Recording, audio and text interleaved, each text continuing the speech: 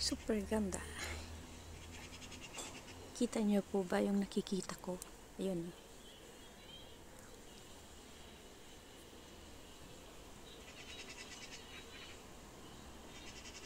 Tatlo.